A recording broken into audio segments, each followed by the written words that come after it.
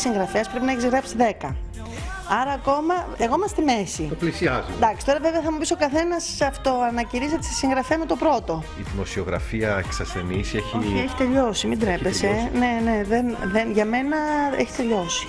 Δεν με ενδιαφέρει. Δηλαδή ήταν, είναι 32 συναλλικά χρόνια στο επάγγελμα, γιατί εγώ είμαι από τα 18. 20 στην τηλεόραση, 21, 10 αντένα, 10 μέγα.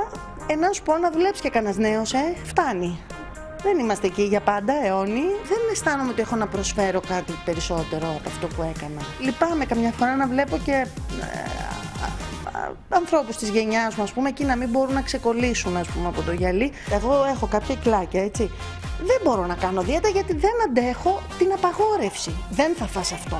Δεν επιτρέπεται αυτό. Δεν απα- απαγορεύεται αυτό. Δεν θέλω να τα ακούω. Η ίδια αποκάλυψε στο Μιχάλη Πλεμένο ότι καταφεύγει σε χαρτορίχτρες και καφετζούδες για να μάθει το μέλλον της. Και χαρτορίχτρα και καφετζού έχω πάει. Και εγώ, όπως νομίζω οι περισσότερες γυναίκες στην ηλικία μου και νεότερες. Μην το κρύβουμε τώρα, εντάξει. Δεν θα, δεν θα θησάβριζαν έτσι όπως θησαυρίζουν αν δεν πηγαίναμε όλοι εμείς. Ξέρω και άντρες που έχουν πάει. Οι άντρες πάνε πιο πολύ σε αστρολόγους, το βρίσκουν πιο επιστημονικό. Η Είχες ανάγκη καθόλου; που σας έκανε να πάτε εκεί; Ήταν η ανάγκη να μάθεις το μέλλον. Τι μου επιφυλάσσει η μοίρα; Δυστυχώς γίνεται συνέχεια, εκτός αν μπορείς να, να συγκρατηθείς και να καταλάβεις, γιατί υπάρχουν πάρα πολλοί επαγγελματίες σε αυτό το χώρο που έχουν τον τρόπο να σε κρατάνε. Τα παιδιά και τα εγγόνια σπίτι τους. Η κόρη μου πια είναι 25 χρονών, ο γιος της είναι 7.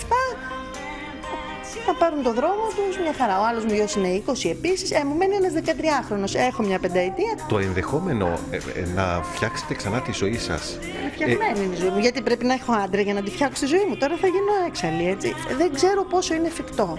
Από μια ηλικία και μετά και σε μια εποχή που όλοι οι πεντάριδες κοιτάνε τις εικοσάρες και εμείς είμαστε οι κατεστραμμένες, τελειωμένες κτλ.